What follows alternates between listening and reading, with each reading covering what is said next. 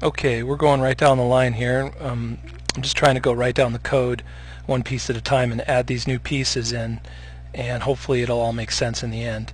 Okay, I'm at the um, set message um, function okay and this is the set message function is the little box that slides over and then you've got to click on the the next button and each time you do you get little messages like welcome to the shooting gallery you have one minute or you know you have uh, in this case 30 seconds now but we could change that later. And then um, right there on the um, on the third message we set the reload depth. We attach the reload um, button. And uh, we attach the reload button and we place it and then we call the reload game function which gives us our um, buttons I mean gives us our bullets and then right after that we're going to add another piece when we click to um, reload our gun and, and when we start up our game we're also going to reset the scoreboard okay so I call reset scoreboard here and I need to open and close parentheses and a semicolon okay reset um, scoreboard. Let me make sure I've got that correct. I do. All right. And then um, we're going to go down here to case 4 in the message um, is where we turn on our game. Okay. And then we increment the message state. So now the message state will be set to 5. So the game is started. The message state remains at 5. Um, all right. And now we're going to put in the message for 5. Um, the first thing we're going to do is we're going to say, let's see here. We're going to set the we're going to reset the button. So to do that, I'm going to say message underscore mc dot inner message underscore mc dot. Next whoops. Next underscore btn for the next button. Dot on press um, equals a function.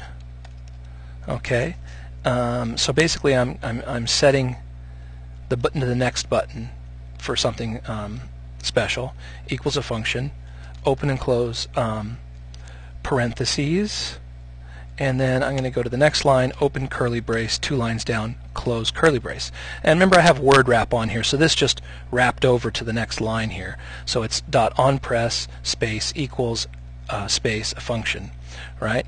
And this is going to set our next button. And what we're going to do is we'll say message state equals 2 and then we'll set the message okay and then what we're going to do is automatically copy paste set the message state equal to 4 and then set the message and so what we're doing is we're kind of bypassing we're very quickly allowing case 2 which will um, reload our gun, and then case 4, which will fire, turn on our game. So we don't go through all those steps again. Right? So this is for when we want to restart the game, essentially what's happening here. And then the last thing we want to do is I'm going to say message, I'm going to highlight this, copy, and outside of this button function, notice I'm, it's after this curly brace, right, right before the break. I'm going to say message underscore MC, then go into inner message underscore MC, but this time go to um, message underscore TXT dot text equals, and I'm going to send a message to the user saying you ran out of time. Okay, an exclamation point, and then uh, why not or why don't you try again okay So we send the message like you ran out of time. Why don't you try again?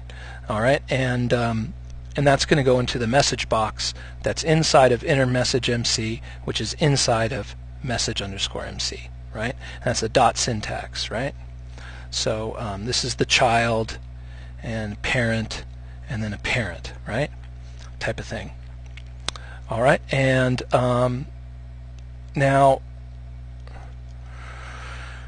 remember what I talked about with scope and variables? Well, right here before the game on function, we're gonna I'm gonna put uh, two things that uh, allow the scope to uh, expand here. Now, I'm not sure if we passed on time. No, we passed on level score and win points, which we're getting passed on, but not time. So right before the game on function, I'm going to say time equals 0 Notice I'm right here. I'm not inside a function. I'm just saying time equals 0. And then time allotment equals 30. And I'm not sure if we're going to need that eventually at all, but I'm putting it out there right before the game on function because I, I wanted to make sure I had access to it, and I think I was having some problems getting access to it with scope and variables. So um, crosshair on, we've got our gun interval, right?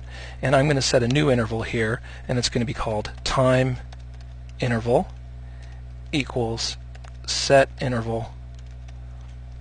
And we're going to call a function, clock tick, which we haven't written yet. And that's going to happen every 1,000 milliseconds or one second. Okay, so this will be our timer.